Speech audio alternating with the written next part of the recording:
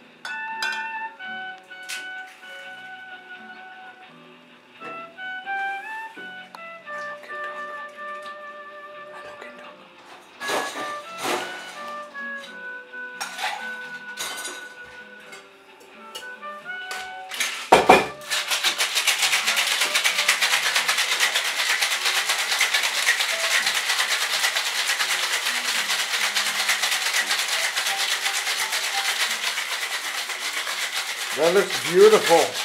So Jackie, what is this drink? Uh, we call the creamy canna. The what? Uh, creamy canna. We have the homemade cinnamon flavor. Homemade cinnamon. Yes, Wow. and the creamy canna from Spain.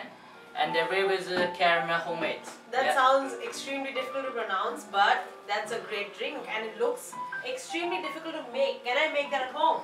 Yeah, hundred percent you can make home. And But you have to train me. hundred percent no problem. And also, Wow. Okay, why is that cup so special? it's kind of like a lottery, right? The dragon's coming out from Yeah. either side. And you looks like a tasting like a cappuccino, and the inside they have cinnamon and the caramel. Wow.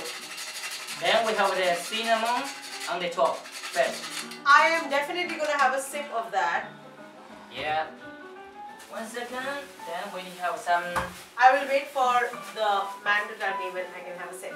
a little bit of garnish for the nice look. Mint. So you Smell of cinnamon is amazing. Oh my god. I am sorry, I can't describe it. There's a liquor chocolate smell, chocolate flavor. Yeah, a little bit chocolate Yes. and caramel, cinnamon. Caramel is the word. Cinnamon is all over it, and the mint garnish is good for the smell.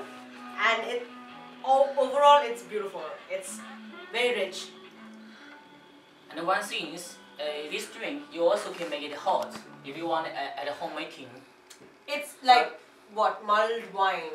Uh, it's kind of like a uh, it's not mulled wine. I mean, uh, some people they don't like a cold drink. Some people like cold, right? I mean, This is so. It, this is heavy and rich, and it's really it's it's beautiful. thank you. So this is called.